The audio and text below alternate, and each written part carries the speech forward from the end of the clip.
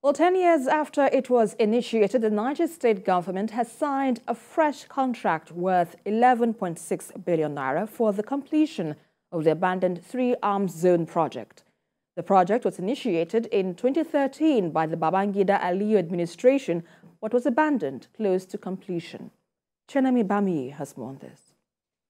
The contract for the Three Arms Zone project, awarded in 2013 by the former governor Muazu Babangida Aliyu's administration, is a replica of the Abuja three arm zones meant to accommodate the government house, the legislative quarters, and the judiciary in the state. The former government of Abubakar Sani Bello sold both the lands and the buildings under construction in the three arm zone to commissioners and permanent secretaries, a decision the present governor Umar Bago has reversed. Three arm zone, some of the items that were sold had to be revoked. The governor has also signed a contract of 11.6 billion naira to complete the project and restore the original plan. Investing in this project, we have revoked and reclaimed all assets of government that have been sold in error.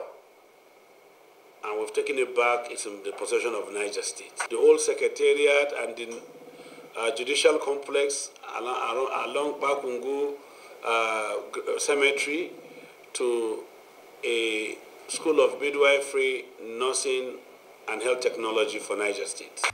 The government also signed another contract agreement for the conversion of the abandoned three-star Shiroro Hotel Limited in Minna to Ibrahim Badamasi Babangida University Teaching Hospital at the cost of 18.9 billion naira. Uh, we are very uh, grateful for the state government to actually assure us to uh, with advancement of 25% uh, mobilization. I think that's just a booster for us.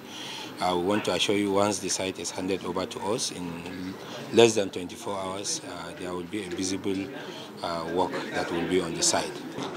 1,000 plots from the three arm zones to the other side, which is going to create a bypass. Definitely, uh, the Niger State workers will have a place to stay.